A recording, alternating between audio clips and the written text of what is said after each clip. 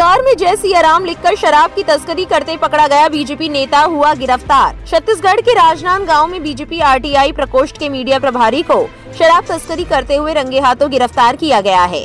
BJP नेता का नाम जयराम कुमार दुबे है। शराब की तस्करी करते हुए पकड़े जाने पर आरोपी बीजेपी नेता ने बड़े नेताओं से पहचान की धौंस दिखाई। आरोपी नेता की गाड़ी पर बड़े बड़े अक्षरों में जय सियाराम और सूचना का अधिकार प्रकोष्ठ भाजपा छग लिखा हुआ था। रायपुर की चिचोला पुलिस ने पेट्रोलिंग के दौरान मुखबिर की सूचना पर बीजेपी नेता को गिरफ़्तार किया है। पुलिस की गिरफ्त में आने के बाद जयराम दुबे ने अपनी राजनीतिक धौंस दिखाने की कोशिश की और हंगामा भी किया, लेकिन पुलिस ने उसकी एक ना सुनी। सोशल मीडिया पर छत्तीसगढ़ के पूर्व मुख्यमंत्री डॉक्टर रमन सिंह और पूर्व मंत्री राजेश मूणत के साथ जयराम दुबे की तस्वीरें वायरल हो रही है।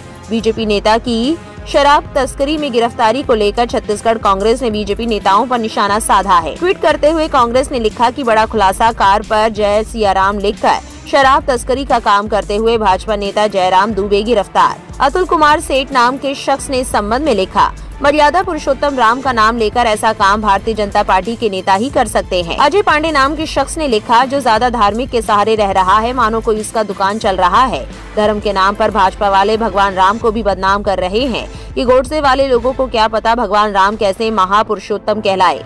अलीम साबरी नाम के शख्स ने इस घटना पर कहा, इनका तो सारा काम धर्म के नाम से ही चलता है, धर्म को छोड़ दे तो भूखे मर जाएँगे ये लोग।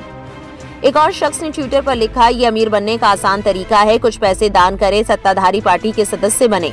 अपनी कार पर एक पार्टी का झंडा लगाए और गरीब पुलिस कर्मियों को धमकाए। फिर जो चाहो करो, सब जगह यही अभ्यास है। हालाँकि कहा जा रहा है कि इस गिरफ्तारी के बाद राजनांद गाँव से लेकर रायपुर तक बीजेपी में खलबली मच गई। कोई भी बीजेपी नेता इस मामले में कुछ भी बोलने को तैयार नहीं है। आप इस पूरे मामले को कैसे देखते हैं, हमें कमेंट बॉक्स में अपनी राय ज़रूर दें। हमारे चैनल को सब्सक्राइब करें वीडियो को लाइक और शेयर करें। बेल आइकन बटन ज़रूर प्रेस करें, ताकि राजनीतिक गलियारों से जुड़ी हर अपडेट आप तक पहुँचती रहे।